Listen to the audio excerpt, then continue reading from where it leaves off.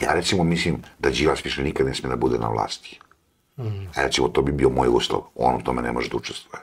Drugim rečima, i to bi bio uslov. To bi moglo da bude uslov, a tamo ima sigurno pametnih i poštenih ljudi u koje uopšte ne sumnjam. Ali a, on je njihov hazjajn. I to je, ja mislim, ja zato kažem, on je Mefisto srpske opozicije. I dok on vodi srpsku opoziciju, to strašno odgovara Aleksandru Vučiću, nećemo pobediti nikad. Toga građani treba da budu svesni. A, a nećemo pobediti nikad i ako se budemo pridržavali ove, da kažem, da ne kažem izdajničke, nepatriotske politike, isto nećemo nikad pobediti. Toko srpskog naroda više ne može da prođe. Gospodine Gajiću, hvala vam što ste bili gost naše produkcije. Hvala i me hvala nadam vama puno na da- pozivu. Nadam se da ćemo se vidjeti još koji put ove godine i vidimo se i na terenu. Evo sutra je ovaj skup, a, mi smo podržali ovaj skup Save Manojlović sa kreni promeni, ja sam pozvao članstvo Narodne stranke a, sutra da dođe, U mi ćemo, mi ćemo doći u ispravno. 19 časova, podržavamo tu akciju a, Kreni promeni, a, tema je ono što jedna od tri glavne teme Narodne stranke je borba protiv Rio Tinta i litijuma i mi to uvek podržavamo.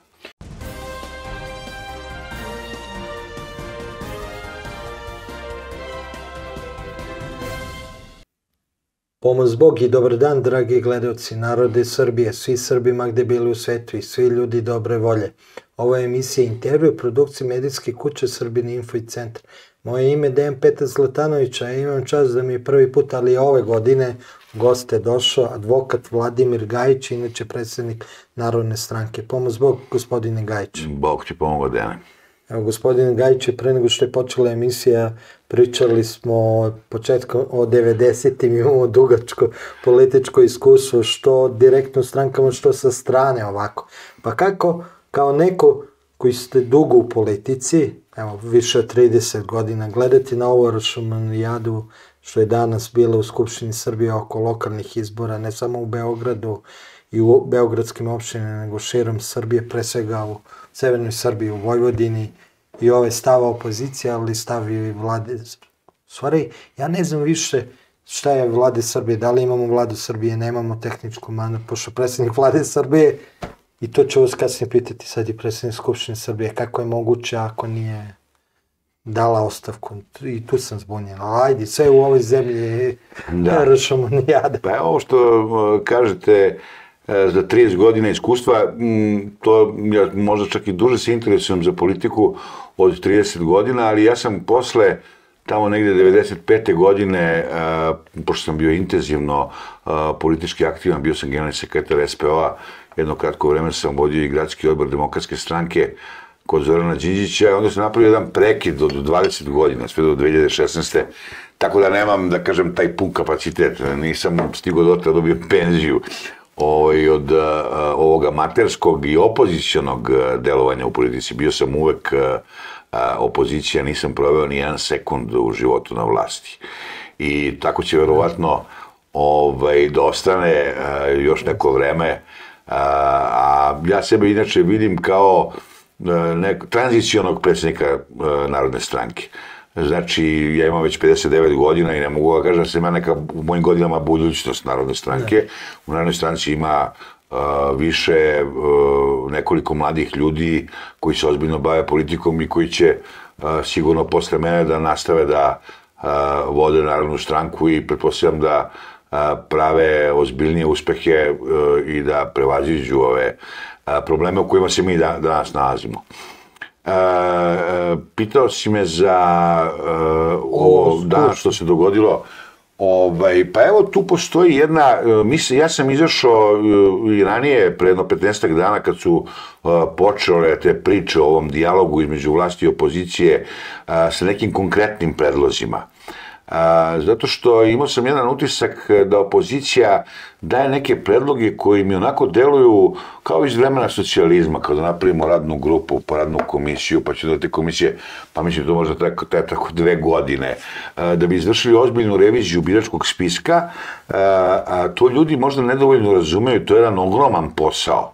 A, to je jedno dva, tri ministarstva treba da se angažuju i da rade jedno dve godine vrlo ozbiljno da bi napravili jednu ozbiljnu i temeljnu reviziju biračkog spiska i izašli i rekli evo sad imamo jedan birački spisak u koga i država, institucije i svaki građani mogu da se pouzdaju. Znači to je nemoguće raditi za pet dana. I kad kažete hoćemo reviziju biračkog spiska, vi u stvari ne kažete ništa.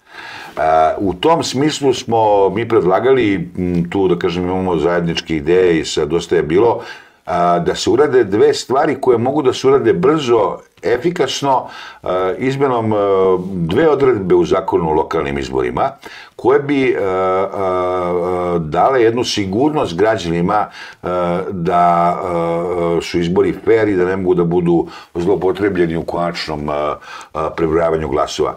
Jedna je e, da se spreči taj takozvani izborni turizam. E, tako što bi zakonom predvideli e, da građani koji promeni mesto prebivališta u tom novom mestu prebivališta ne može da glasa u sledećem izbornom ciklusu.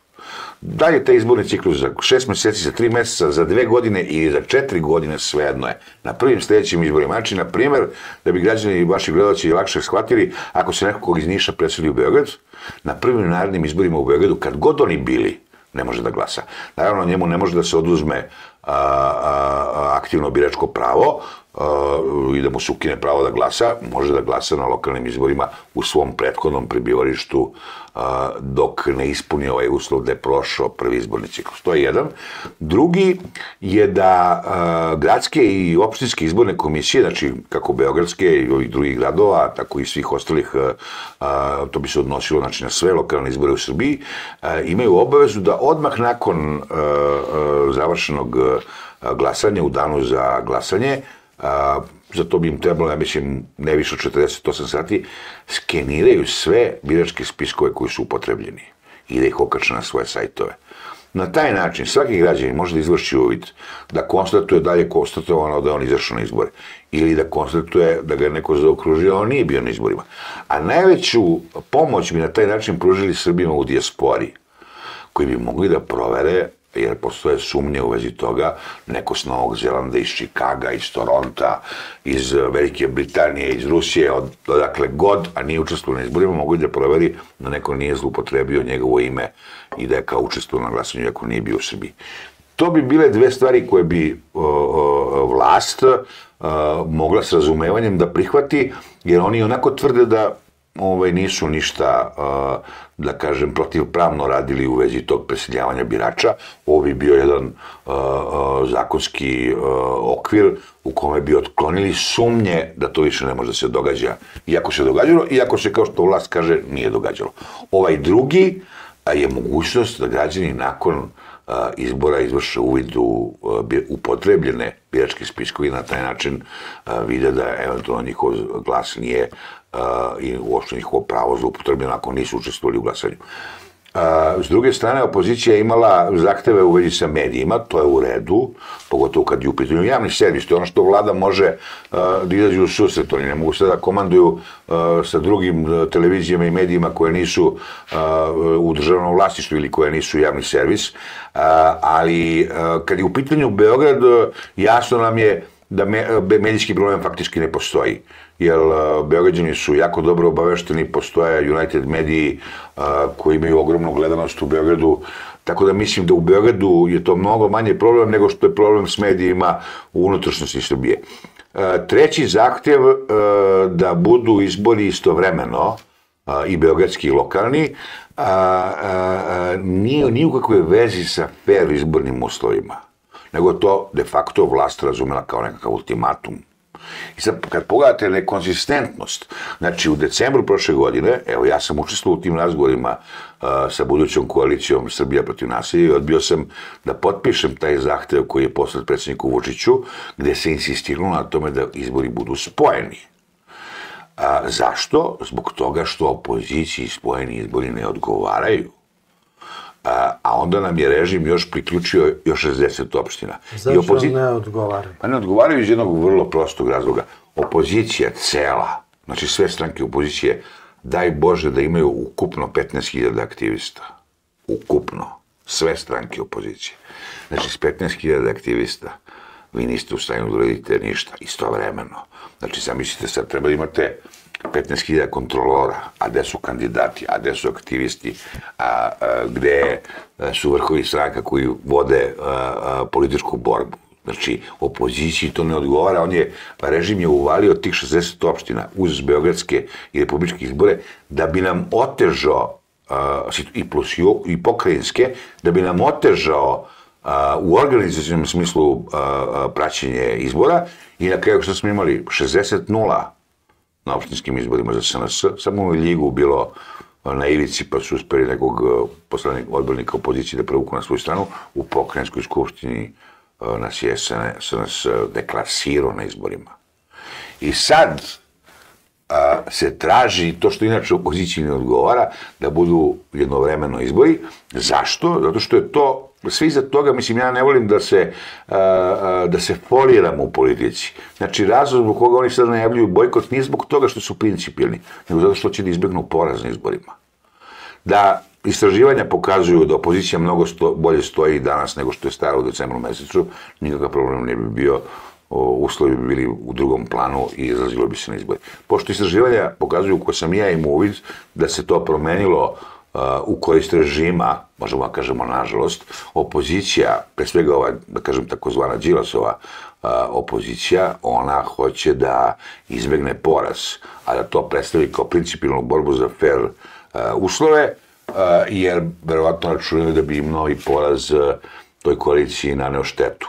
Tako da e, je to otprilike okvir kako ja to vidim i naravno e, režim je bio spreman da izađe u susret za ove prve dve tačke koje su postavljene kao uslov, da se naprave neke komisije koje će da gledaju biračke spiskove, da se popravi situacija u medijima, ovaj treći koji nije vezan za fair uslove, da će izbori da budu ovog datuma i onoga, to nema veze sa fair uslovima, to su odbili jer je njihova politička strategija, a oni pošto su na vlasti imaju, e, da kažem, e, tu prednost da postavljaju stvari onako njima odgovara, nego odgovara njihovim političkim protivnicima, verovatno je taktika vlasti da izađe prvo na beogradske izbore, da ih dobije i da onda demorališe opoziciju za izbore e, u Novom Sadu, u Nišu i u svim ostalim gradovima po Srbiji, kojih ima nekdo oko 90 tih opštinskih izbora koji treba da se obave u tek negde, kako se predviđa, 15. ili 21. jula ove godine. Tako da, otprilike to jedna scena, Uh, Narodna stranka neće da se povodi ovim što ovaj, da kažem, zaključuje i ovaj, iznosi u javnost ova Đilas, takozvana Đilasova lista. Mi imamo puno razloga za to, nemamo mora vodimo računa o njihovim interesima nego svojim, to na prvom mestu. Drugo, to su E, e, to je koalicija koja je e, godinama, nažalost, dosta uspešno razbila Narodnu stranku. Znači, nemamo nikakav, ovaj, nikakvu empatiju prema njihovim političkim razlozima zbog kojih hoće da bojkotuju izbore, a jasno mi je potpuno da e, to nije iz principiranih razloga. Prema tome, šta bi se inače dogodilo da je vlast prihvatila i istovremene izbore, onda bi izašli izbore, izbori bi bili pod istim uslovima koje ovde nikad nisu bili fair 30 godina. Vi Marte, ne možete kažete, evo ovi izbori u proteklih 35 godina su bili fair i pošteni i na njih niko nije imao primjedbe, uvek su posile primjedbe i uvek je ovde, je to jedna kultura, znači to je jedan kulturni model u Srbije da vlast kreira izbora kako, kako njoj odgovara i svega nekoliko puta u, u 50 izbora koji su se održali ovih 35 godina se dogodilo da se vas preračunala pa izgubila izbore koje je sama organizovala, ali to se uvek, da kažemo, redko događa. E sad, ovi koji zagovaraju ipak o drugu priču e, koju predstavlja Srbija protiv nasilja, oni govore prilike ovako, važno je dobiti makar negde izbore, Beograd je najveća šansa, ali ne možemo dobiti izbore ako neko dovlači ljudi sa strane, jedino ako su istovremeno izbori, onda manje šanse da vlast dovuče ljudi sa strane.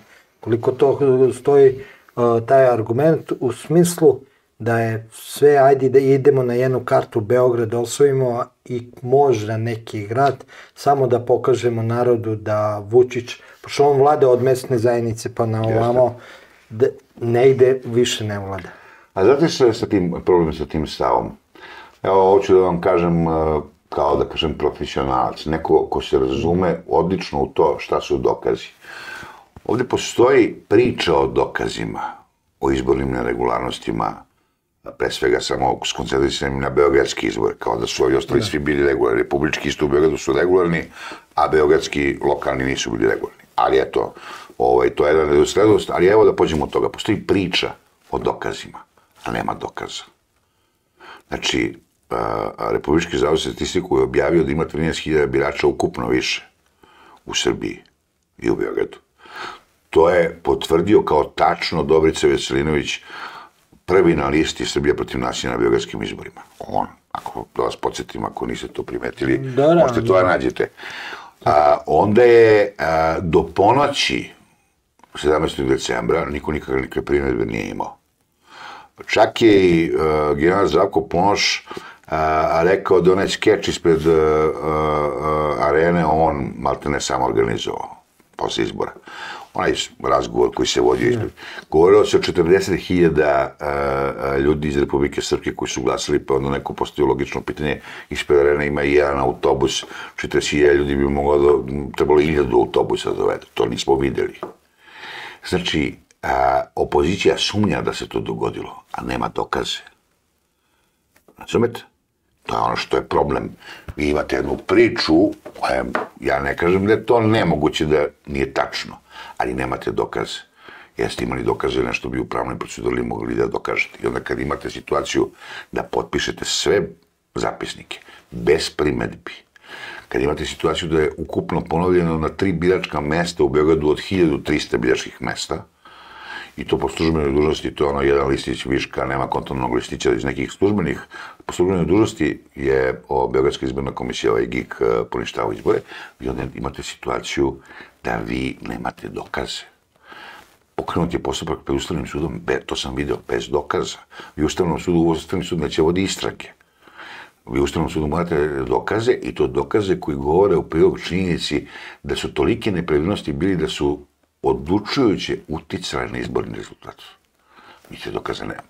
A onda, kaže, a, ta, taj deo opozicije kaže, krali su, ne znam kako su, da su, da to znači da su uzimali a, glasove koje je dobila opozicija, pa su davani SNS-u ili to znači nešto drugo. A, a, a, ova koalicija oko Đilasa smatra da su samo oni pokradili. Pa možda je Narodna stranka pokradila. Razumete?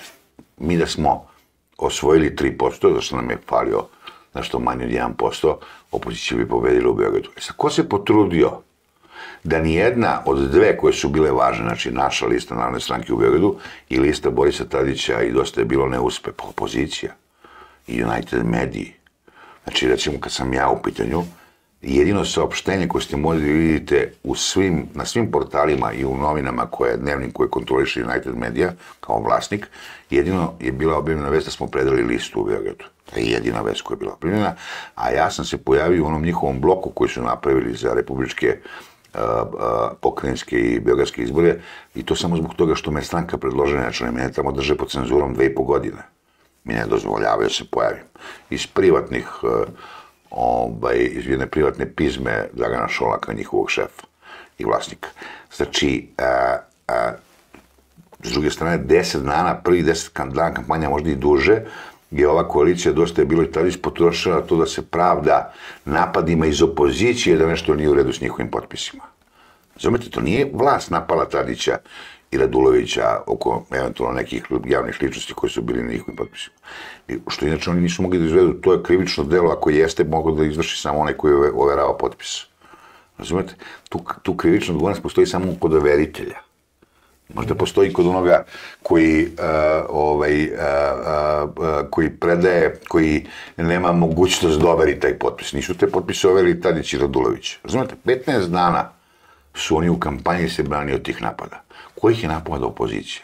Zato što su oni zamislili su oni jedina opozicija i da sada dele kao što radi Đilas posle izbora, a osvaj se, ova je opozicija, ova je nije opozicija. I sad, ja sam to govorio javno. Sad, ja koji sam celog života opozicija, i ja, i moja porodica za vreme komunizma, i ja sad treba da se pravdam njemu, koji je ovde bio dva put gradonačelnik uz podršku SPS-a. koji je postao predsjednik Košarkaškog saveza Srbije u drugom mandatu zahvaljujući podrški Aleksandra Vučića, koji je prošle godine, kad smo bili na, kad je trebalo uh, 6000 glasova Tadiću da osvoji u onim ponavljenim izborima, on je pre tih ponavljenih izbora, a moglo da se osvoji, jer je bilo preko 10.000 glasova, da kažem, u bubnju, potencijalno, on je otišao kod Vučića, razgovarao s njim i rekao, bit će izbori, kad je ono rekao, na proleće. I onda se narod demotivisao i ti su izbori propali. Tad je opozicija bila bliže pobedi nego u ovim izborima. Ovde se da ušao faktor Nestorović koji neće sa opozicijom iz svojih političkih razloga, a tad je Tadiću koji je imao 2,8 falilo 0,2 ovome Dušku Vujošoviću, bivšem legendi ovaj, košarskog kluba Partizan, da pređe cenzus, da je prešao cenzus, pobedio bi opoziciju, jer opozicija imala 54. Sad nije imala 54, sad imala manje. E. Tako da je to jedna, uh, šta ono, ne, ono što ja mislim da nedostaje opoziciji, svakako nedostaje karakter. A koji bi narod prepoznao. A kakav bi trebao da bude karakter po vama onda? Pa evo daću vam ovaj primer. A, jedna od posljednjih odluka administrativnog odbora prethodnog saziva Skupštine Srbije je bio da se poslanicima povećaju plate 10%, a naknada po poslaniku što ide iz budžeta poslaničkim strankama je skočila sa 3800 na 6000 evra mesečno. Zašto? Zamislite sad opozicija ova koja je proglasila da su izbori pokradeni, a pre svega da je ona pokradena, da su rekli pa onda u toj skupštini nećemo da učestvujemo. Kako da učestvujete u skupštini koja je pokrala, koja je rezultat pokradenih izbora? Tako? onda ne ulazite to, ne uzimate mandate i ostajete na ulici, vi bi onda vašim glasačima pokazali imate karakter, ali ne, ovde je mamilica, imate 10 poslanika, dobijete 60.000 evra mesečno. Ali kad uh, Vučić znači, kontrola... kojim poslom sem uh, da, da se trguje kokain, kokainom u Srbiji možda se zarađuju takve pare na mesečnom nivou, ni jednim. A baš zbog toga, pošto opozicija nema mogućnost, evo nema ni vaša stranka, da normalno dođe neki privatnik koji, na primjer, okreće milione i da ima želju da finansira vas ili bilo koju opozicijnu stranku, odmah uh, režim radi, kao što radi sa medijima. Ali vidite, Kako onda... Da, ali vidite, 90. godina to nije bio toliki problem. Z, znači, e, SPO, zato SPO ima u svakom mestu u Srbiji Šta je to? Kako lokalnog nekog privrednika koji je pomagao opštinske odbore u Srbiji. Zato vas i pitan, kako onda osloboditi se tog straha u smislu da opozicija, evo i vaša stranka koja je sad se, nije ušla u parlament pa ima taj problem i prepostavljam sigurno, kako se izboriti sa time, a politička borba traži vreme, organizaciju, znači sredstva, kad vam ovaj ko sekta drži sve? Pitan. Pa eto, to je pitanje građanske kuraži zašto ljudi koji bi bili, uh, koji imaju mogućnost da pomognu opozicijne stranke, zašto uh, idu tom linijom manjeg otpora, recimo i sami bi volili da žive u nekom drugačijem društvu nego od ovoga koje je danas, zašto neće uh, u tom finansijskom smislu da pomognu opozicijne stranke? Evo vidite, recimo, Đilas koji je lično bogat, on može da finansira sam svoju stranku i ima jednu prednost u odnosu na opoziciju, jer ima, jer kod njega postoji izvor finansiranja. Sve ostale stranke su u jako lošoj poziciji. A je to uvek pitanje, a zašto ne možemo da dođemo do tih ljudi, recimo, koji su finansijski sposobni? Nije to samo strah, nego vam kažem nešto, nedostatak poverenja u opozicijne stranke je ogroman. I ja sam vrlo često sklon da razumem a, šta te ljude što... treba uraditi? Ajde, šta će Narodna stranka da uradi da biste u narednom periodu privukli ljude sebi? I na koji način? Pa da vam kažem što ja računam da uh, za sve potrebno vreme i Narodna stranka od momenta prošle godine kada je ovaj jedan deo predvođe Mikije Maleksića napustio stranku, Narodna stranka je postala jedna stranka koja ima jednu, da kažem, unutrašnju koheziju i da može slobodno da vodi onu svoju politiku koja je programska politika od dana kada je osnovana. Ali za to da bi se preporučili narodu je neophodno vreme. Uh, mi smo uvereni uh, da uh, nema demokratskog društva bez nacionalne države. Mi smo ponovo u poziciji u kojoj smo bili tamo za vreme kneza Mihajla kada još uvek nismo imali zaokruženu nacionalnu državu. Bez toga je nemoguće srediti demokratsko društvo. Sve tradicionalne demokratske zemlje Evrope a, su prvo a, da stvore nacionalnu državu, da bi jaka nacionalna država a, je mogla da stvori demokratsko društvo. Tako imate primere ovaj, i, i u Francuskoj, i u Britaniji, i u Italiji, i u Nemačkoj, kogu hoćete zemlji. E, Srbija se nažalost nalazi u tom, u tom nekom položaju, meni se najviše čini kao sa vreme kneza Mihajla.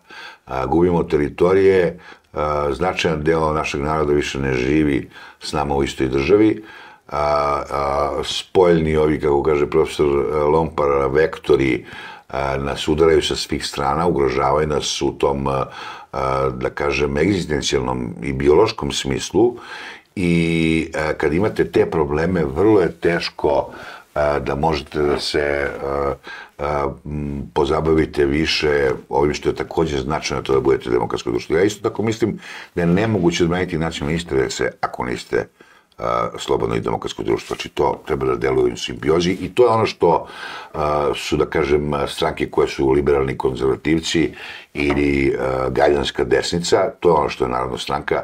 Mi smatramo da su te dve stvari podjednako važne, nacionalna politika i demokratska politika zalaganje za demokratsko društvo, to je nešto što je Srbiji neophodno. Nije važno samo da što to zastupa Narodna stranka, nego ako to ne bude postao, postala glavna politika u Srbiji, Srbija neće ići napred, odnosno nastavit će da se kreće unazad i a, ko zna dok će do nas dovede. I to je ono što ovaj režim ima veliku priliku s obzirom na legitimitet koji ima da, da kažemo, krne brod u tom pravcu, očigledno da oni nisu satkani od ljudi koji su na to spremni i koji imaju do toga stalo. Narodnoj stranci je do toga stalo. I e, to je njena vrednost, taj karakter, e, taj e, e, e politički sentiman do koga Narodna stranka drži, Znači, mi, mi smo na našoj skupštini u, oktobru prošle godine usvojili dokument proglas o srpskom pitanju u 21. veku. Ja mislim da je to najsadržajniji, najkvalitetniji, a, a, a, da kažem, programski akt koji je bilo koja stranka u 21. veku donala u Srbiji.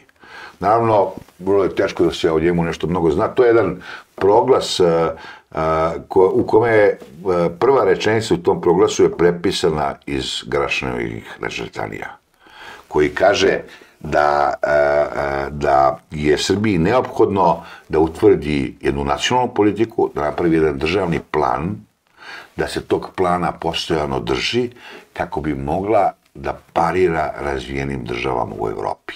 To je prilike parafraziram i tada Garašin kaže u Evropi. Ne kaže u Kini ili u Africi. Dobro, mi smo I, a, i a, to je prva rečenica u našem proglasu.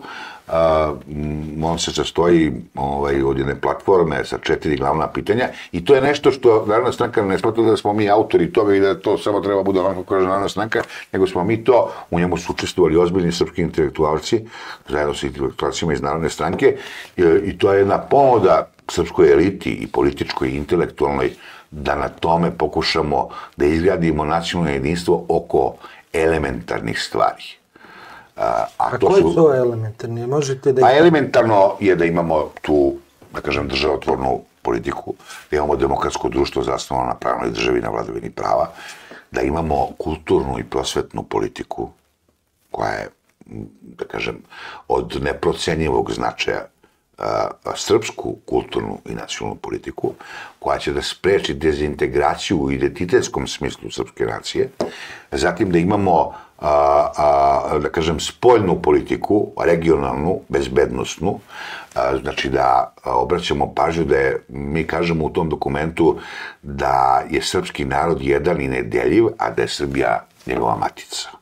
Znači, u kulturnom i prosvetnom smislu mi možemo da održavamo jedinstvo srpskog naroda i, i, i onoga koji živi na Balkanu, ne živi danas u Srbiji. Znači, i u Makedoniji, u Crnoj Gori, na Kosovu i Metohiji, e, koja nam je e, de facto nasilno ove stavljena pod e, okupacijonu kontrolu, naravno u Bosni, u Hrvatskoj, kroz, preko kulturne prosvete, tako smo se razvijeli u 19. veku. Taj, taj plan našetanja nije bio objavljivan, ali je njega prihvatila politička elita i svi su po nešto u svom periodu kada su bili na vlasti doprineli da onda stvorimo 903. godine ovaj, donesemo nov ustav, došli su Karadžorđevići, stvorili smo brzo jedno demokratsko društvo koje je postalo Pijemont na Balkanu, ne samo srpsko, za srpski narod, nego i za druge narode koji su živjeli, da kažem, u nekom feudalnom ropstvu, kao što su Slovenci, muslimani u Bosni i Srbi u Bosni, kao što su Hrvati. Mi smo postali Pijemont, jedna magnetna snaga koju su se svi priključivali i onda smo stvorili jednu državu koja je bila u stanju da izdrži onakav rat protiv onakvih vojnih sila, da ih pobedi i da bude zajedno sa najvećim evropskim državama na strani pobednika. Bili smo u poziciji da možemo nacrtamo svoje granice.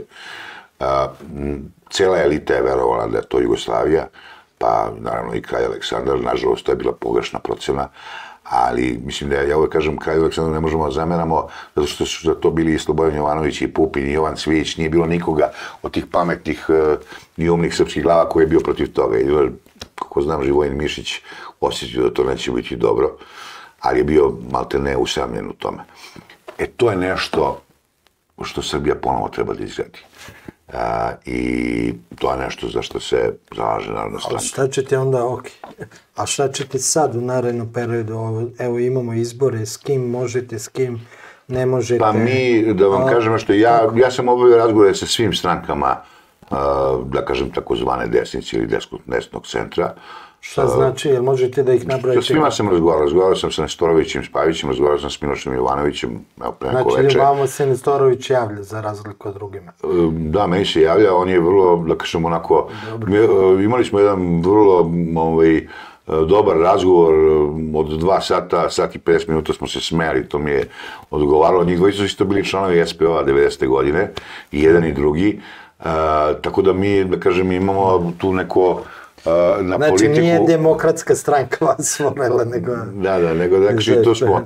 Imao sam s njima razgovor, imao sam razgovor sa Milošem Ivanovićem, naravno sa dosta je bilo sa dverima, sa svima, sa Veljom Milićem u Čačku, sa doktorkom Jovanom Stojković ovde u Beogradu, znači sa svima razgovaram, ne postavljam nikakve uslove, smatram da i ono što nedostaje Srbiji, to je saradnja na desnici, Nažalost, mislim da se režim vrlo efikasno i dobro bori protiv te, tog nekog ujedinjenja na tom desnom nacionalnom polu, jer je to nešto što bi moglo brzo da dovede u pitanje opstanak ovog režima na vlasti i zbog toga oni rade sve da do toga ne dođe. Pesnica je nažalost dezintegrisana.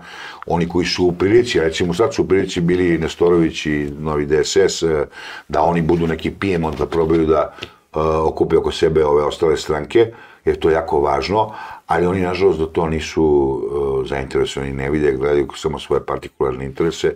Evo vidim da Novi DSS se, ja mislim, je, to je za njih pogubno, suviše približi ove Đilasove koaliciji. Nestorović i Pavić, ne znam šta, kako oni vide strategiju. Svi to vide, svi to gledaju predatorski. Da oni smatraju da je dobro da uzmu da usiše i unište ove sve druge konkurentske stranke na tom desnom polu i da ostanu sami. A to je vrlo teško, uvek se neko novi pojavi, to se vrlo teško može da se realizuje.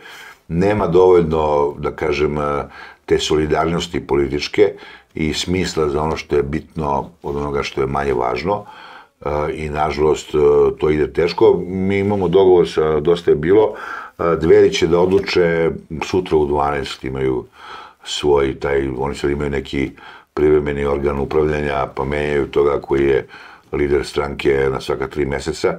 Malo imaju, ja mislim, to je kriza rukovodđenja u toj stranci, se Boško ovaj, Obradović, da kažem, povuku i sad se bavi samo ovim lokalnim izborima u Čačku. E, čekamo njihovu odluku. E, u nekim mestima po Srbiji smo napravili odlične dogovori sa strankama s kojima ne sarađujemo na ovom većem nivou. Recimo u Čačku tamo ide i Poksi, dve, Poksi i dosta je bilo, idu s nama. E, u, u Valjevu takođe. A kako je to moguće, eto? U zapadnoj Srbiji može, u Beogradu ne može, ali pa to je lokalnom... zbog ljudi, službi, Da vam kažem nešto, ja mislim recimo taj POKS u Valjevu ili POKS u Čačku, to su sve bivši SPO-ci. To budite sigurni.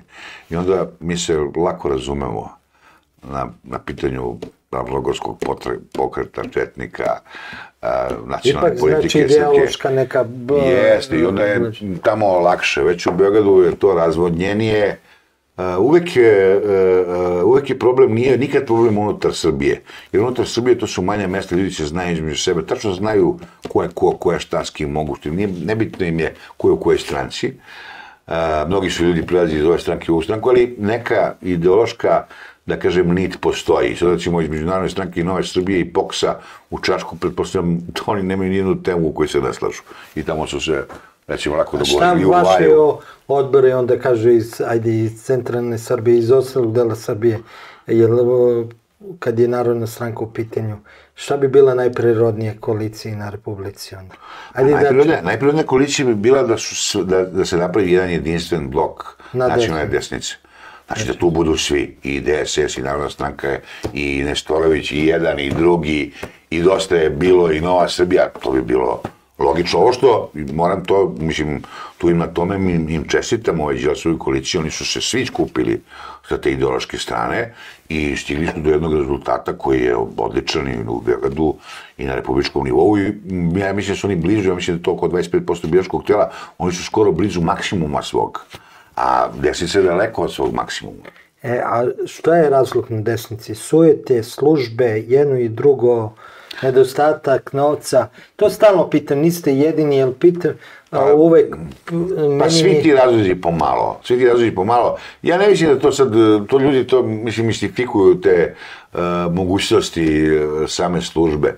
Mislim da to je jedna strategija direktno Vučićeva, koji je majstor uh, izborne tehnologije i održavanja na vlasti, to ne može. Ja uvek ovako kad govorim u nekoj, u nekoj šali, ja kažem, on kad bi trebali da ga primimo u Akademiju nauka srpsku zbog tog znanja u vezi sa izbornim ovaj, postupkom ili sa uh, održavanjem vlasti, on bi morao direktno, ne da bude ono vanredni pa dopisni član, nego odmah da ga prime. Ja mislim, tu je stvarno jak i to je pokazao, evo, 12 godina, on ne pravi greške svojih prethodnika. To uvek kad ste poslednji, da kažem, u nizu, vi uvek gledate gde su pogrešili ovi pre mene i onda nećete ponoviti njihove greške. Kad on, kad on pristane, kad mu opozicija traži izbore i kad mu traži recimo u decembru, ne samo o, prvo republički su bili potpuno nepotrebni. Potpuno nepotrebni. Mislim, vi znate, ne možete ništa da uradite. Znate, a koji je razlog možda bio to? To razlog je bio da se ovaj, napravi neko uh, pretumbavanje na opozicijnoj strani. To su faktički bili izbori između opozicije, a ne protiv vlasti. Da li I sve je došlo do nekih promena. Evo, mi sad, recimo, mi sad recimo imamo U, pa, mislim, Narodna stranka je razbijena uh, iz nekoliko ambasada u Beogradu. Zato to mi znamo od početka. Tu nema nikakve dileme. Mislim, ja sam to i prepričao u nekim drugim uh, medijima, uh, da je meni Miki Aleksić rekao, Vlado, moram da budeš svestan, ovdje će biti onako kako hoće Amerikanci. On je prihvatio tu politiku. Ja sam mu na to rekao, pa, pa što se onda bavimo politikom? Što lažemo ljudi i predstavljamo se da smo nešto drugo od onog što jesmo? Što ne napravimo i mi neki NGO pa da zarađujemo pare od toga? A ovdje sad imate, na, na toj strani sad imate, tu su nevladine organizacije koje su skoro sve, imaju agendu spoljno-političku zapada u Srbiji. Se mi ne lažemo. O, proglas, to je sve isto. Ovaj, to je jedna, ja mislim, to je jedan veliki problem za Srbiju. Zato što oni nije to, kad oni kažu rade protiv Vučića, nije to samo rade protiv Vučića, nego protiv Srbije. To ja razdvajam interese Srbije i interese Srpske napredne stranke. I ja nemam nijedan razlog da podržavam interese Srpske napredne stranke, ali imam sve razloge da podržavam interese Srbije. Nažalost, ovde je uvek tako, vlast se poistovećuje svoje interese partijske sa državnim interesima. I to je ogroman problem u Srbiji. U Francuskoj, on tamo se ne raspravlja, tamo niko nikog ne zove izdajnici. Znači, ova levica koju se vodi Mélenchon ili Le Pen koja je na desnici ili Macron koji je u sredini, oni su svi patriote francuske. To se, to se ne razgovara se o toj temi, to se podrazumeva. A kod nas se to ne podrazumeva. Ovdje ako ste patriota, vi ste desničar. Ako ste malo jači patriota, ako ste malo veći srbin, vi ste krajnji desničar korak jedan do fašiste. Lako. Koga nazivaju ovi mediji, da kažem, takozvani levičarski fašistima Srbije, sve koji su patrioti i desničari? Čim zastupate malo oštrije srpske stavove, evo sad ovaj problem koji postoji s ovim Kruhovićem u Novom Sadu, vi vidite da ih uh, jedan deo medija uh, kvalifikuje te studente i neku podršku, uh, mislim neki stav koji je protiv Gruhovićevih izjava koje je dao u javnosti, oni su odmah nacrtani, su fašisti. Fašisti su oni koji se bune zbog toga što Grihunjić uh, a, a, daje, daje de facto proustaške izjave javno, a profesor je univerziteta državnog, gde je znači, plaćen iz kase poreskih obveznika Srbije, on ne to govori s nekog privatnog fakulteta. Pa kažete da to sloboda govora možda priča šta hoće. U redu, ali ono što je on govorio, ajde da zanemarimo tu njegovu šalu neuspelu, ako je ako bi mu prihvatili da je bila šala, da ima isto ime kao što, je, kao što ima a, a, upravnik a, Jasenovca i Stare Gradiške, ako bi mu prihvatili da je to bila šala, kako ćemo mu prihvatiti ono što je govorio o, o malim ljudima s kratkim nogama, zločinačkog pogleda koji i deci koja se spremaju da završe pokolj koji su završili njihovi roditelji, da će od crkva da pravi a, a, pubove, ovaj, odvratnih crkava, srpskih pravoslavne crkve koje, od koji će prave pubove i tako dalje. Pa to je raspirivanje vlastnice. Mislim da je to, da sam recimo ja ili bilo koji srbinac to rekli o muslimanskoj džami, o muslimanima ili o katoličkoj, pa bila bi, uveli bi nam sankcije iz Evropske unije. On bi vas istina... Ali je, ali je ovde, ali ovde u Srbiji je to jedna, jedna agenda koja se naslonila na ono prethodno priču ove laličke o vojvođanskoj naciji. I mi smo, to je dobro rekao Slobodan Antonić, mi smo se i ranije, iako oni tamo nemaju podršku za tu politiku ni 0,5% u Vojvodini, ali mi smo i ranije pravili greške što smo preko tih stvari tim, ovaj, na, na samom začetku prilazili kao, ma šta nema veze, pa to postane problem. Zato što se u medijski, ja recimo sam siguran da je današnja omladina srpska uh, desničarski nastrojena. Ali vi to ne vidite. Vi vidite samo ove studente kao što su Najcicvarić i oni koji ovaj, imaju neku agendu koja je, koja je de facto ono, što se kolektivno kaže, antisrpska. Svim u, u suštini je takva. Ok, sloboda govora, svako može da ima ove koje hoće. Ovo što Gruhović govorio, to nije sloboda govora. Tamo gde počinje govor mržnje, prestaje sloboda govora. To je vrlo prosto. Kako prepoznati? Ajde, pitam se kao advokat, kako da ljudi znaju šta je sloboda govora, a šta je govor mržnji, šta treba da se smatra? Pa zato što je sloboda govora uvek ograničena, ograničena slobodama drugih. Znači, ja mogu da govorim slobodno dok moj govor ne ugrožava ono što su vaša ljudska prava. Zato postoji to krivično delo ovaj, e, izazivanje rasne, verske i nacionalne mržnje. Znači, ako bi ja govorio na takav način kao Srbin, protiv muslimana u našoj zemlji, protiv jevreja ili protiv katolika, to bi bio govor mržnje. Ako bi rekao da ćemo pretvaramo njihove a, verske objekte u pubove, ako bi se sprdao to nije sa politički njihovom... stav. To nije politički stav, to je govor mržnje. Jer vi na taj način uh, ćete da razovete, a vi se sa pozicije profesora univerziteta kad to govorite, vi imate jedan uticaj na mlad svet. I ovaj, ne vidim, znači ja mislim, tu ne treba da se vodi nikakva rasprava, se ulazi na fakultet, inače ima autonomiju. Bio sam da Marinika Tepić zvala policiju da na fakultet. Mislim, šta je sa autonomijom univerziteta? Tamo, ne tamo mogu da budu samo studenti i profesori unutra za tvoje vrata, mogu i da se biju, da rade šta hoće. To je autonomija univerziteta. Ne smemo mi iz polja niko da, da se unutar onoga što je aura univerziteta u to mešamo. Ali ovdje je tužilac treba pokrene krivični postupak protiv Guhanića. Ja mislim da bi se on teško izvukao. Kada bi se video kontekst svih njegovih izjava koje on stalno plasira u javnosti, ja mislim da se on zbog ovih izjava ne bi izvukao u krivičnom postupku. I pitanje je da bi posle osude mogo da ostane profesor na tom univerzitetu. Ali to je isto jedna agenda da nam je sad skrenuta pažnja na jedan slučaj koji bi u političkom smislu mogao da bude i efemeran. To je sad postala nekoliko dana glavna tema, a ovdje s druge strane nam Kosovo ulazi u Savet Evrope, što je jedan veliki nacionalni državni problem, za razliku od ovog, da kažem, mogli bi to da tretiramo i kao incident. Jer vi sad imate, recimo u Americi je nekad bilo ako zapalite američku zastavu, možete u Americi su jezive kazne po 30 godina robije. I onda je taj slučaj presečen jednom presudom Vrhovnog suda, to je bilo pre 40 godina, gde je utvrđeno da taj neki politički aktivista zapalio zastavu između svih političkih uverenja i Vrhovni sud je glasajući 5-4 rekao da je to politički stav paljenje američke zastave i od toga možete zapaliti američku zastavu, pošto ima taj presedan, nećete na robiju. Ove, ovaj, tako bi mogli da kažemo za Dinka Gluhovinića da je ovo sloboda govora, ali ovde postoji problem što je takav način a, a, slobode govora zloupotrebljavan u ovaj e, i doveo do jednog a, jezivog građanskog rata i etničkog rata u bivšoj Jugoslaviji. I zato smo mi osetljivo područje da se na takav način govori, a pogotovo u Vojvodini koja je više nacionalna sredina. I sad recimo on koji je bio, ja mislim, stanovnik Banja Luke i koji je ovde našao, da kažem, bio, osjećao se tamo ugrožen, prešao u Srbiju, gdje je napravio jednu karijeru u svakom pogledu. Ovo je sad kad pogledate ko sad sve finansira ono, Vojvođansko društvo novina i tako dalje. Samo pogledate, da. uvek pogledate A ko stoji sa parama iza toga ja i onda vam je uvek jasna motivacija. Ja uvek gledam prvo novac, gde je pa sve ostalo kad su kad je u politike, nego ajde kad smo otvorili temu Kosova, to mi je bitno. Imamo jedan problem na desnici kad je u pitanju kako odgovoriti na ovu politiku Vučićevu kad je u pitanju Kosova i Metohije, zato što njegova vladovina, a ja sam istoričar, po meni bit će istorijski obeležena kao povlačenje srpske države sa teritorije Južne srpske pokrajine i gubitak te teritorije. Kako, da li je to izdajničko ili ne, ajde da ne ostavimo, ali to je de facto. I pokazuje se jako neuspešan tu.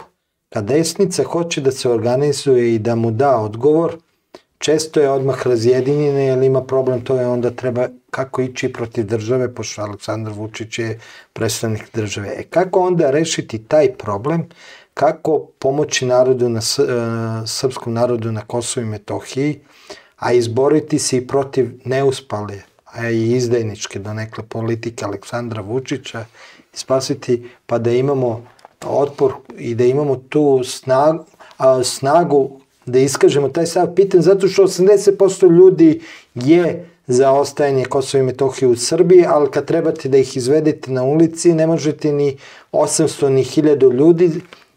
Jedan od razloga je i zato što crkva neće jasno da stane a, kad da. su takvi protesti. Ali kako onda rešiti taj da. problem, jer glasače desnice i ko, a, Kosovo je, ako nije broj 1, sigurno je broj 2, pitanje je jako bitno za opredeljenje kome će dati glas, pogotovo kad je u poziciji. Pa, znate kako Dene, ovaj, prvo ovo što ste kako da im pomognemo. Mislim, e, e, sasvim je jasno da e, Srbima na Kosovu i Metohiji možda pomogne samo država.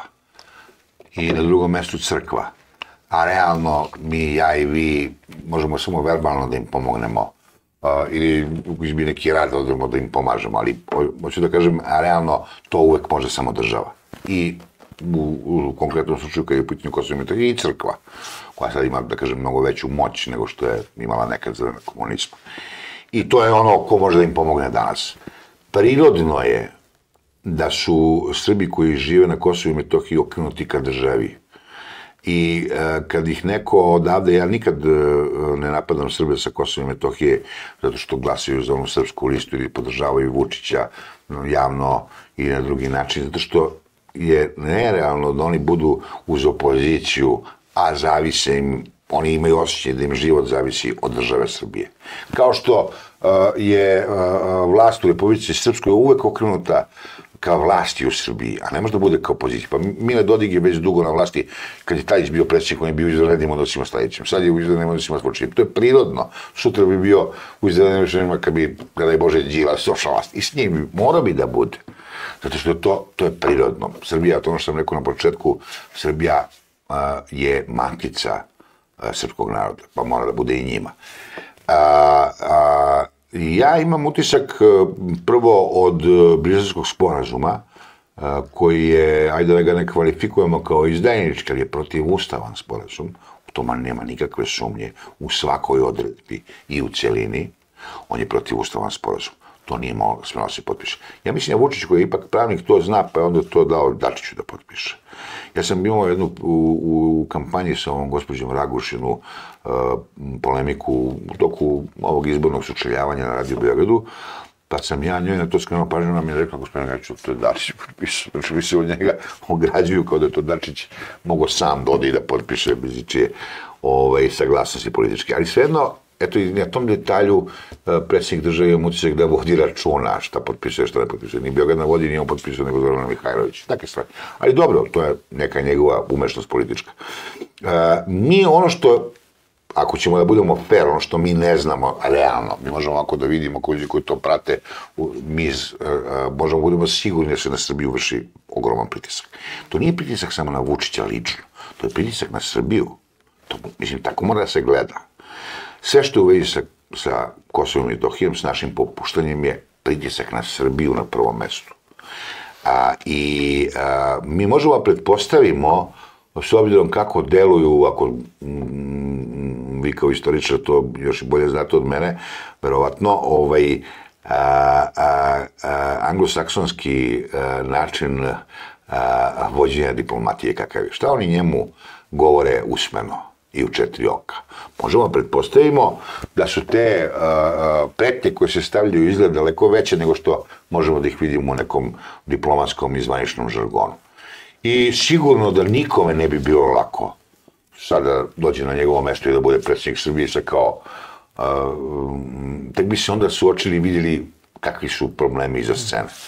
Uh, tako da, ali svejedno, ja mislim da to stalno popuštanje je njega dovelo u jednu poziciju i, i vrh srpske države i, i vladajuću stranku da su oni išli iz poraza u poraz, očekujući da će baš nešto da dobiju, nikad nisu, nisu dobili.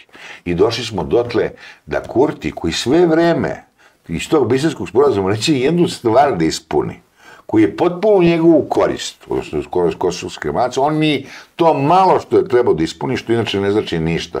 Ta zajednica srpskih opština, to je jedna virtualna vladina organizacija. Verujte mi, to nema nikakav značaj. Ali eto, ni to.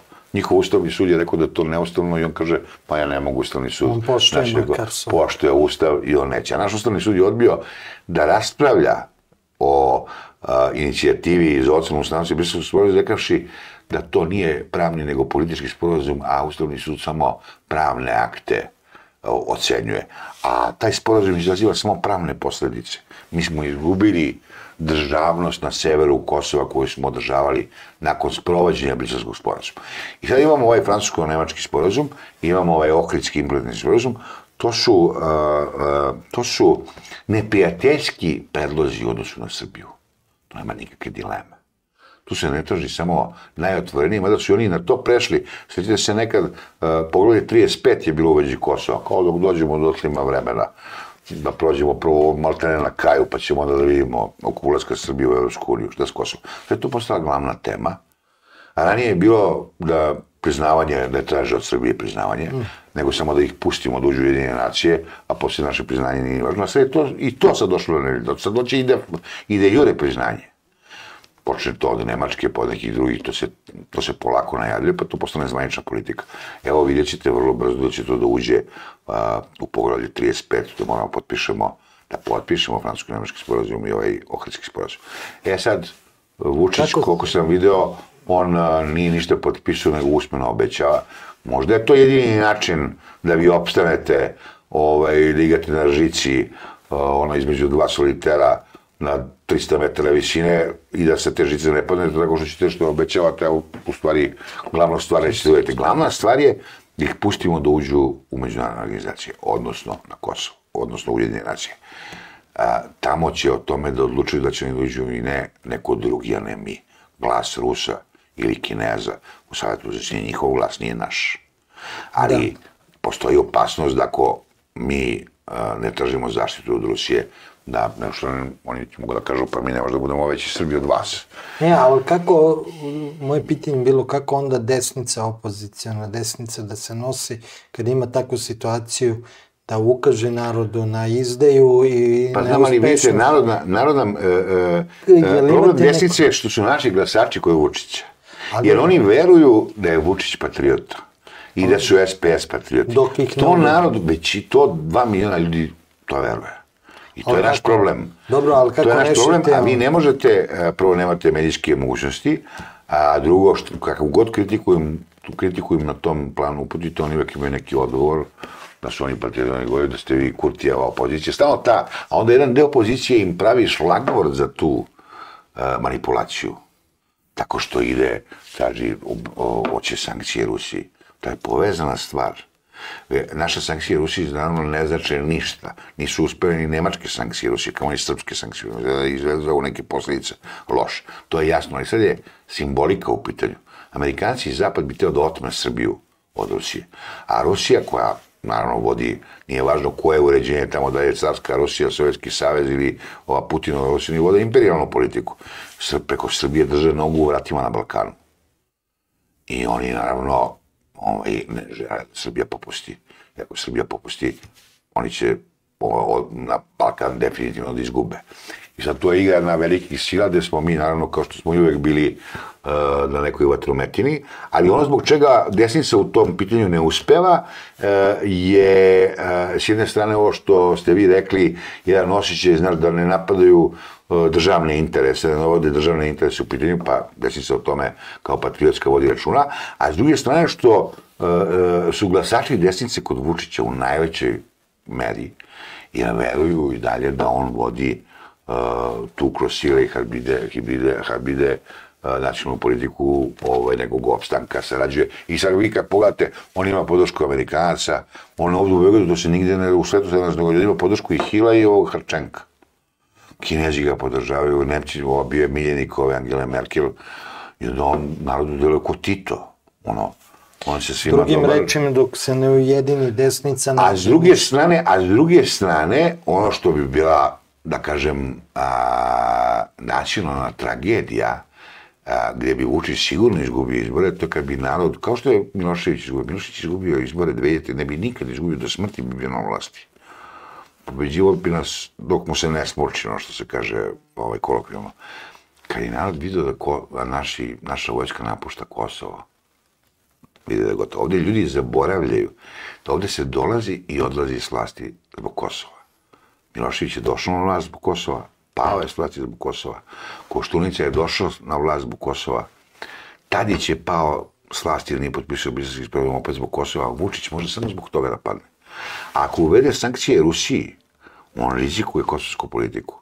Naš jedini, šta god ko mislio, naš jedini adut u međunarodnim odnosima i adut u tome da možemo da očuvamo Kosovo, a sutra i Republiku Srpsku, je podrška Rusije. Ako nemamo podršku Rusije, mi onda ostajemo sami. Ne može jedan mali narod, kao što smo mi imali u smislu teritorije i broja stanovnika, ne može protiv ovih a, velikih sila koja imaju taj predatorski princip da vas pregaze ako ne pružete otpor. E sad, ono što, mislim, bi ja predložio, to je počnemo da pružamo otpor. Znači, nek uvedu Kosovo sa naša delegacija odmah mora da napusti Savet Evrope i da suspenduje, da kažem, delovanje u tom savetu. Jer to je neprijateljski akt. To je akt koji bi bio protivna statutu tog Saveta Evrope. Prijatelj jednu zemlju koja je član jedinih nacija, u kojoj postoji spor, čiju, čiju nezavisnost ne priznaje 5-6 evropskih država, da vi nju primite u Savet Evrope gdje treba se, šti, gde, koji je osnovan zbog toga izmislio se štite se ljudska prava i u zemljama, i Rusija je bila do ovog rata član Saveta Evrope.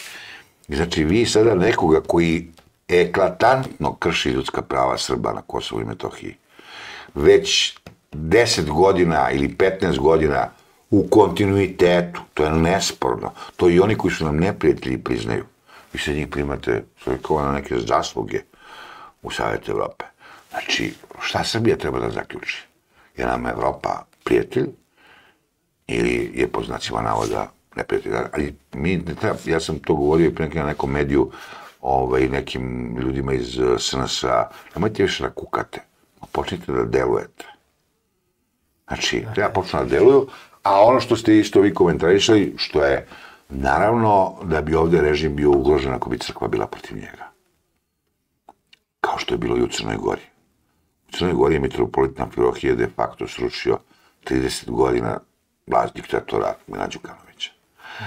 Tu se Milo Đukanović prvi put preigrao. Svojim, isto bio izuzetno vešt politič. A u Srbiji crkva se ponaša neutralno u odnosu na a, političke partije, kao što normalno crkva uvek je uz vlast. Ali čak i u ovim pitanjima, kad je u pitanju Kosova i Metohija, ih ne dovodi u pitanje. Tako da možda se stekne utisak i da tu postoji neki plan. Jer šta ćemo mi da radimo ako dođemo u situaciju da oborimo Vučića s vlasti zato što je on već izgubio Kosovo, ali trajno. Šta, će, da, šta imamo mi od toga? Ako smo to izgubili, šta će bude s našom mlađom? Šta imamo mi od toga posle toga? Posle toga sledeća stvar izgubili bi Republiku Srpsku. Dobili bi milion izbeglica iz Republike Srpske. Sad za kraj, a, jedan od razloga kad neko navodi zašto je Kurti, o, to Deja Mirović navodi, na primjer Lompar, zašto je Kurti uspešan u odnosu na Aleksandra Vučića je problem korupcije.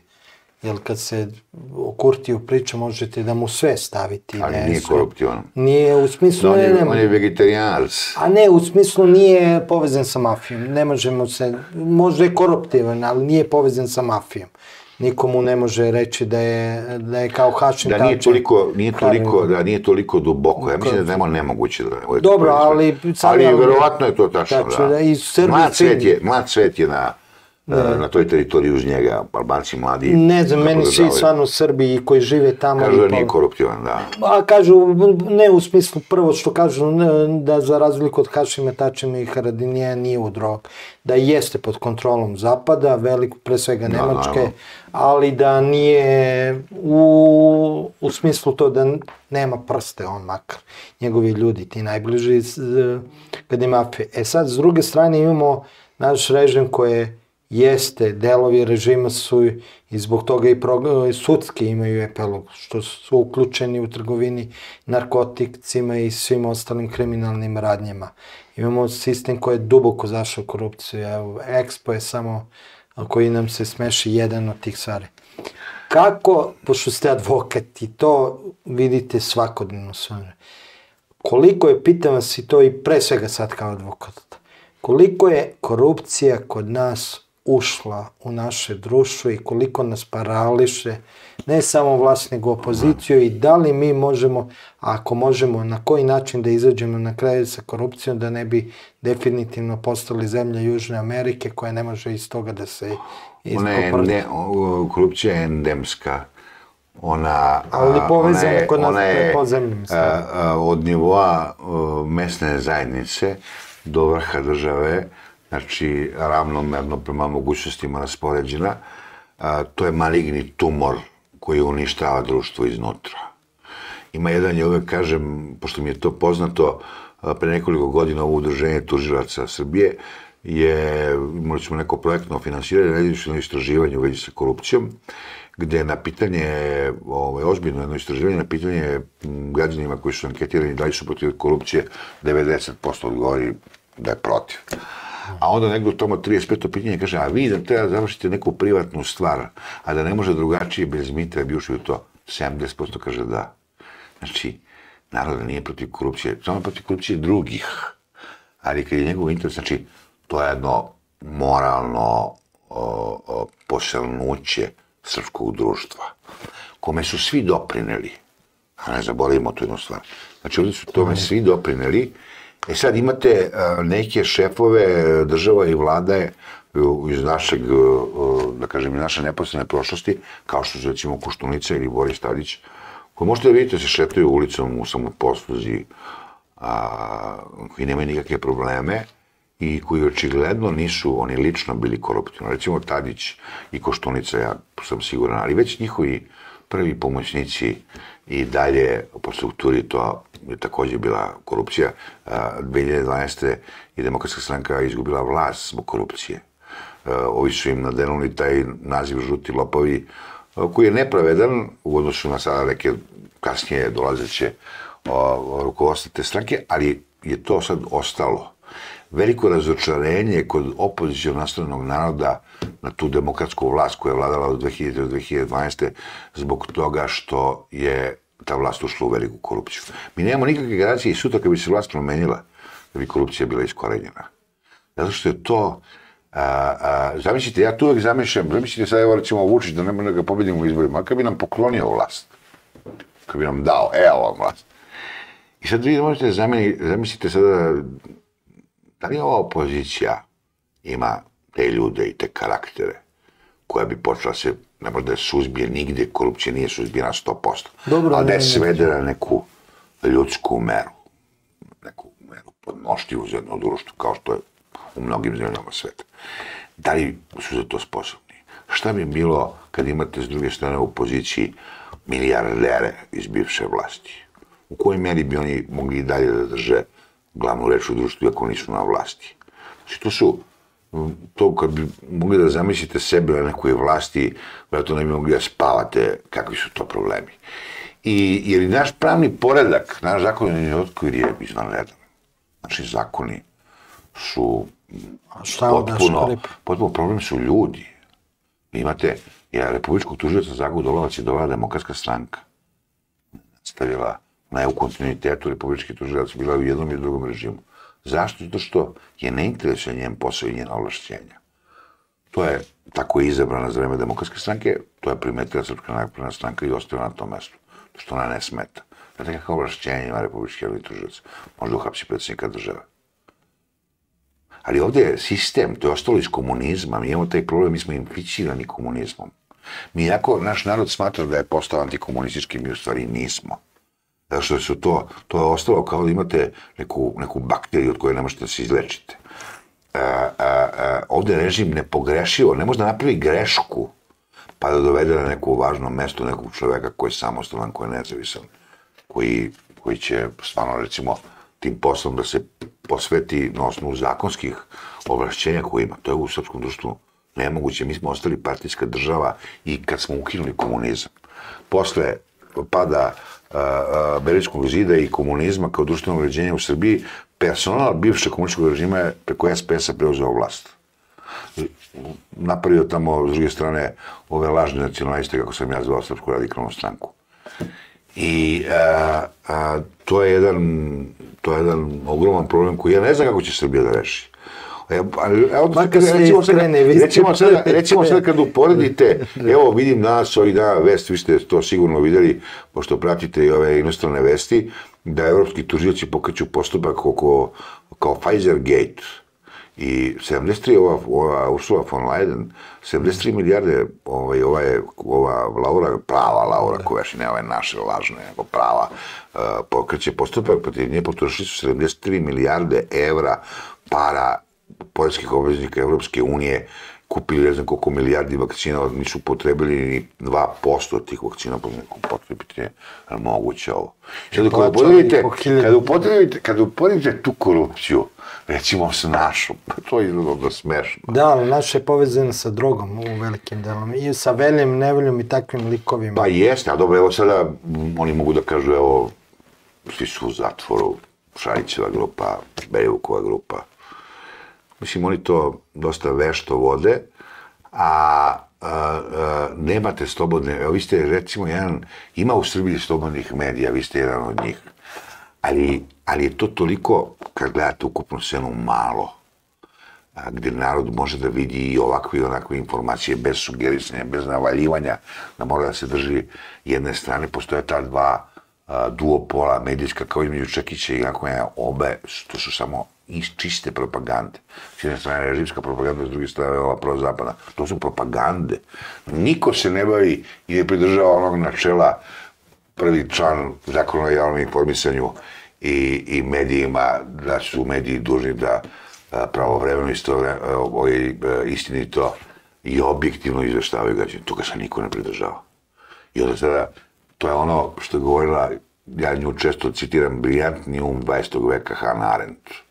Je rekla, kaže, cilj te propagande nije da narod poveruje u njihove laži, nego da prestane da veruje u bilo šta. S takvim narodom možete raditi što hoćete.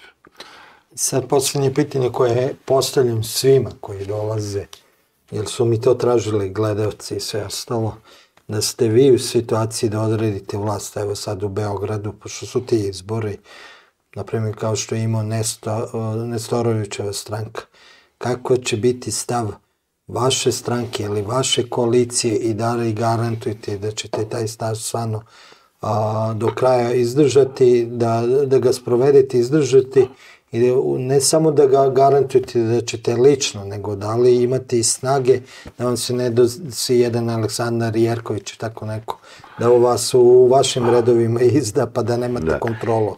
Da vam kažem što Narodna stranka je bezuslovno opozicijona stranka. Ako ova prozapadna opozicija bude bojkotovala izbore, onda ćemo verovatno imati čistu pobedu Srpske napredne stranke. Narodna stranka koja će izaći na izbore realno ne može da, da kažem, dovede u pitanje njihovu pobedu. Ako druge opozicijne stranke ne učestvuju, mi možemo da budemo samo deo nekog eh, fronta nakradnog posle izbora koji bi mogao da ide na promenu vlasti. Ali na stvarno na promenu. Ne zbog toga da bi bilo sjaši kurta da dođeš i morta, nego da pokušamo stvarno nešto da promenimo. Mislim se time niko ne bavi beogradskim temama.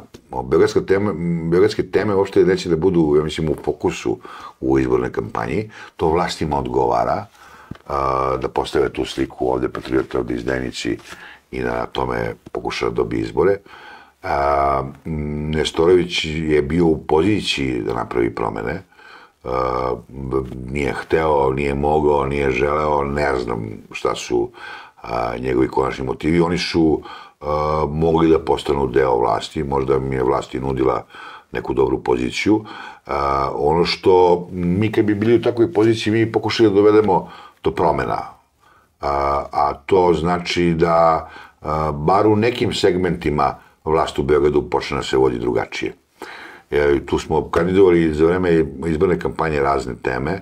Jedna od njih je bila recimo da mora da se stvori u okviru gradske uprave antikorupcijskog telo. To je inače i preporuka Evropske unije i neka obaveza naša, ali koju, koja se u Srbiji, ovaj, a pogotovo u Beogradu uopšte ne primenjuje. E, to je jedno telo koje može da pomogne da se suzbije ne ova korupcija do koje je već došlo, nego u buduće. E, morate da tu foliransku i lažnu sliku o malim platama važnih ljudi u Beogradu ukinete. Znači, sekretari, sekretarijata, direktor i gradonačnik moraju da imaju velike plate. Kad ima veliku platu, onda neće da bude koruptivan. Jer vi kada nas dovedete, hoćete da dovedete nekog stručnjaka za urbanizam i je plata 500 evra. On će to da pristane jedino ako računa da će da i da krade. Da, se Ali slažem. ako ima veliku platu, onda nema uđe. Znači, tamo gde potrošite novac iz budžeta za prave stvari, to će da vam se vrati više struko. To je jedini način da dovodite kompetentne ljude, da dovodite stručne ljude, da dovodite ljude koji imaju neku viziju, koji imaju neki smisao, ne da dovodite partijske poslušnike. Mi smo i na prošlim izborima prvih pet mesta na ovaj, a, listi Narodne stranke su bili pet uh, najviših funkcionera stranke. Bi i Vuk Jeremić je bio kandidat zbog toga da bi, ako dođemo u tu priliku, sprečili da nam neko pobegne. Pa Ali nećete sigurno sa SNS i SPS koji su do sada. Uh, ne, a nećemo doći ni u priliku. Dobro, ali ako budete u prilici, Pa možda. jedino kad bi nas oni pustili da mi vladamo. Ne, u Kao smislu, SPO 97. izađe evo. opozicija ipak na vlast, ova druga deo opozicije izađe, ja na vlast na izbore, vaša lista bude jezičak na vagi. Jel to je ono što ljudi sad najviše zanima? Pa evo da vam kažem što treba da ih zanima ono što je važno, a važno je da li bi to, da li bi uh, saradnja uh, na, u opoziciji bila radi promena pravih, a ne radi toga uh, da se zameni onaj ko upravlja korupcijom. Ja recimo mislim da Đilas više nikad ne sme da bude na vlasti. Mm. Recimo to bi bio moj uslov, on u tome ne može da učestvuje. Drugim rečima, i to bi bio uslov. To bi moglo da bude uslov, a tamo ima sigurno uh, pametnih i poštenih ljudi u koje uopšte ne sumnjam. Ali uh, on je njihov hazjajn. I to je, ja mislim, ja zato kažem, on je Mefisto srpske opozicije. I dok on vodi srpsku opoziciju, to strašno odgovara Aleksandru Vučiću, nećemo pobediti nikad. Toga građani treba da budu svesni. A, a nećemo pobediti nikad i ako se budemo pridržavali ove, da kažem, da ne kažem izdajničke, nepatriotske politike, isto nećemo nikad pobediti. Toko srpskog naroda više ne može da prođe. Gospodine Gajiću, hvala vam što ste bili gost naše produkcije. Hvala i me i hvala Nadam se puno na da- pozivu. Nadam se da ćemo se vidjeti još koji put ove godine i vidimo se i na terenu. Evo sutra je ovaj skup, a, a, mi smo podržali ovaj skup Save Manojlović sa Kreni promeni, ja sam pozvao članstvo Narodne stranke a, sutra da dođe, U mi ćemo, 19 mi ćemo doći u ispravno. 19 časova, podržavamo tu akciju a, Kreni promeni, a, tema je ono što jedna od tri glavne teme Narodne stranke je borba protiv Rio Tinta i litijuma i mi to uvek podržavamo. Da, nadam se i da će Ivanu Paralić vidjeti u studiju. To mi je... Jer Ivanu, meni je bilo krivo kad Ivana nije ušla u parlament, bila mi je jedna od najomiljenih, iskreno. Meni lično Jeste, jeste. poslanika Pa i- a, i meni. u Skupštini, zato što je pokretala teme koje su meni jako bitne, a to je porodična vrednost. Tačno, tačno, to ste u pravu. Tačno. Hvala još jedan put. Hvala i vama. Dragi gledalci, ovo je bila još jedna emisija produkcije medijske kuće Srbin Info i Centar. Moje ime je Dejan Petar Zlatanović, s nama je bio advokat i predsednik Narodne stranke gospodin Vladan Gajić za narod za Srbiju ove godine na celom Kosovu i Metohiji u Prizrenu. Pozdrav! Pomože Bog, braći i sestri, svi Srbi magde bili u svetu i svi ljudi dobre volje. Vi se nalazite na kanalima Srbin Info i Centar. Ovom prilikom želim da vas informišem da je YouTube omogućio pretplatu na našim kanalima. Time ostvarujete neke od pogodnosti. Takođe, ako želite da pomognete rad naše redakcije, možete uplatiti donacije preko platforme Patreon ili direktno na naš devizni ili dinarski račun firme. Instrukcije za plaćanje možete naći u opisu svakog našeg videa.